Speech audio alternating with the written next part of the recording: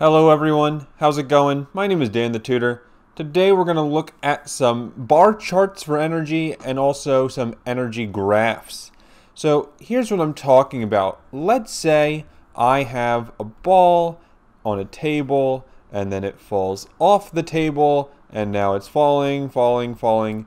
Eventually it's going to hit the ground, right? So if I imagine this scenario, I've got basically three points of interest here. Point one when it before it falls, point two when it's midway through falling, and point three when not when it hits the ground, but just the moment before it hits the ground. In other words, it has a velocity at point three. It's like right before it hits the ground. So first of all, I want to say that energy is conserved here. The reason for that is because there's no non-conservative forces acting on this ball. For instance, there's no friction, there's no air resistance, there's no external pushing or pulling forces. So the only forces acting on it are gravity, and that's about it. So that means energy is conserved, which means that the energy total in the system is a constant. Whatever number it is, it's constant. So here's basically what that means. Let's draw some energy diagrams. So first, at point 1, before it's moving, it's obviously at its peak height. It is all potential energy due to gravity. So I'll mark that in blue.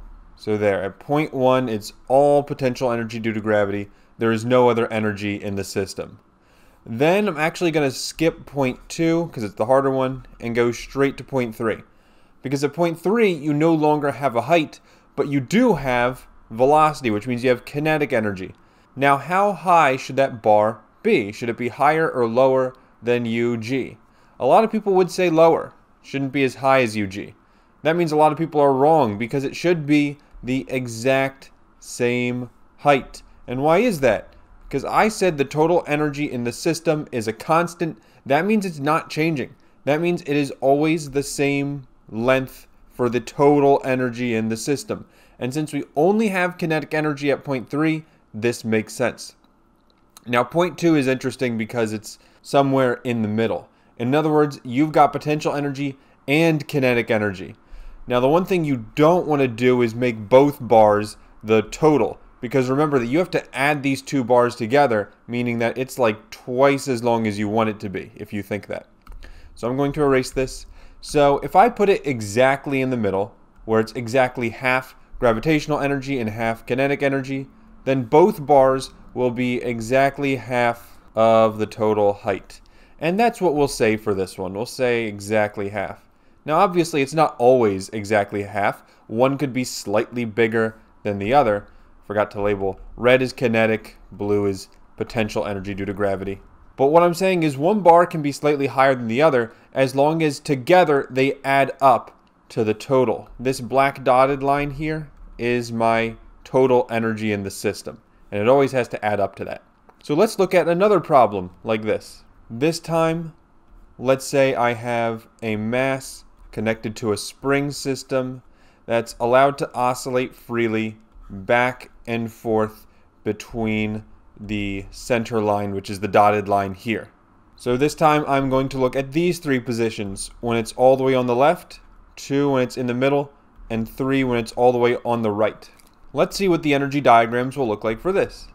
So first, at point one, what kind of energy do I have? Well, this is when it's fully compressed on the left side. And one thing you should know, if I ever have fully compressed, what that basically means to you is that the velocity is zero. And so what that means at point one, it's all potential energy due to the spring, which I'll mark in green. And I'll call that U sub S for spring. Okay, then point two, point two is exactly in the middle. In other words, you have no energy due to spring because you're exactly in the middle. Which means what kind of energy do we have? Well, it's not gravitational potential energy because there's no height at all. So it must be kinetic energy. And once again, these heights must be exactly the same because energy is conserved. And how do I know energy is conserved? Because I didn't say anything about friction. I didn't say anything about any other non-conservative force. So we assume that energy is conserved. So that's what the bar will look like for point two. And then for point three, well, we're all the way on the right again. We're fully compressed. And that means it's once again all spring potential energy. There's no kinetic energy because we're not moving, and there never was any gravitational energy in this problem. But notice my bars must all be equal to each other, just like this. So now let me give you a challenge question. Let's put a fourth point somewhere in between points 2 and 3, and I want the energy bar diagram for that, but I'm going to give you a hint. I'm going to tell you what the kinetic energy bar looks like. I'm going to tell you kinetic energy is that big. And what I would like to know is finish out the rest of the energy bar diagrams. Well, for point 4, I know that total they have to add to the black dotted line. So there must be another energy here. And, I, and again, I know it's not gravitational energy, so it must be spring energy. And it has to be tall enough where I add it together and it equals the total. So if I draw that to the side, that's going to be about this tall. About that tall. And there's my spring potential energy. Again, I gave us the kinetic. And that's how you find the total energy in the system and draw these energy bar diagrams. Now, just one more thing I want to show you. Let's say you do lose energy in this system. I want to show you what that will look like, just with a, an example real quick. So let's say point 1 is here, point 2 here. So for my first energy bar diagram, let's just say it's all kinetic.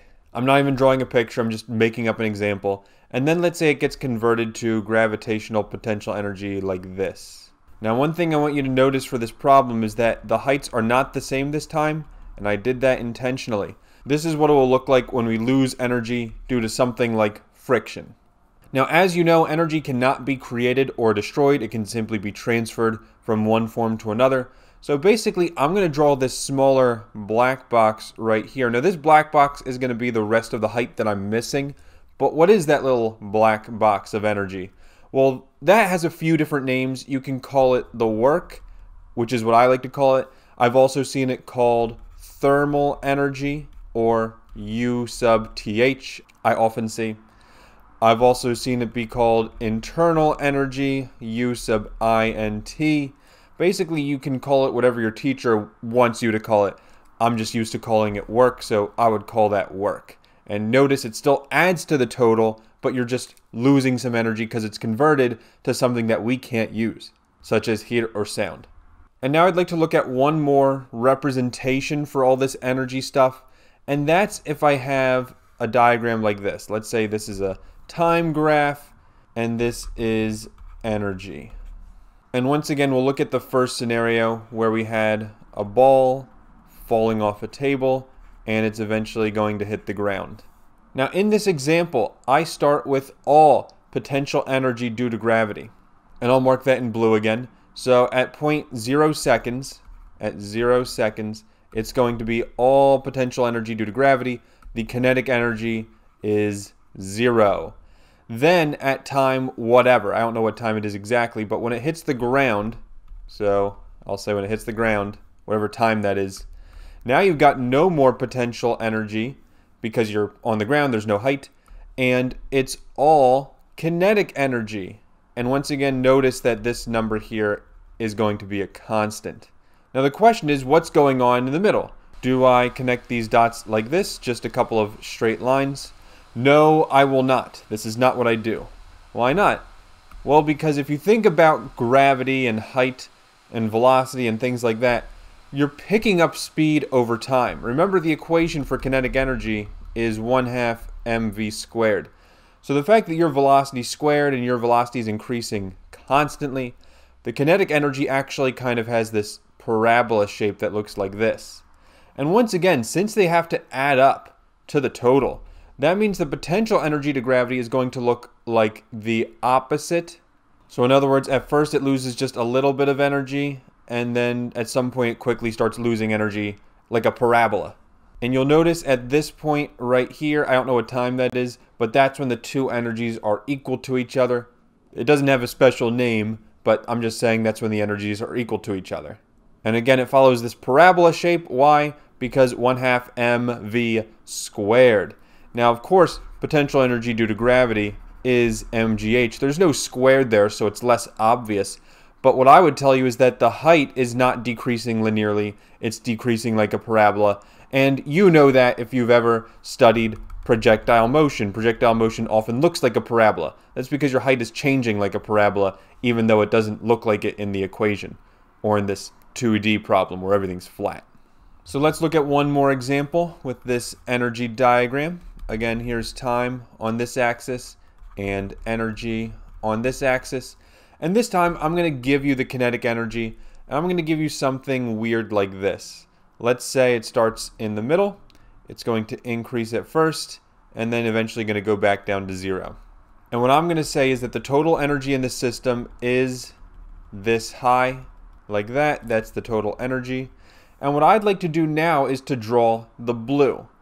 So if you want to know how to draw the blue, remember that at each point it has to add up to the total. And if you want, you can kind of just make it a mirror flip image of this one. And let me show you what I mean.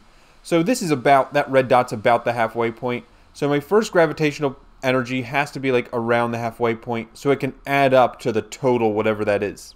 Now as you notice the red line starts going up, that means slowly the blue line will start going down. And I'm drawing a dotted line just to get an idea for myself. I'm not super confident this is right yet. But eventually it's going to be about zero because it's all kinetic energy, as you can see here. And then over time it's, it's going up, like this parabola shape.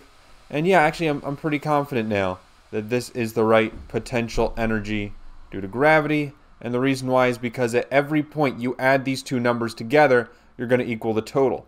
And if you don't believe me, let's just eyeball it. Let's say the total energy is 10 joules, and let's say this point right here is 5 joules. Well, each energy, kinetic and potential, is 5, so 5 plus 5 equals 10. That makes sense to me. Let's say this energy right here is 7 joules, making up a number.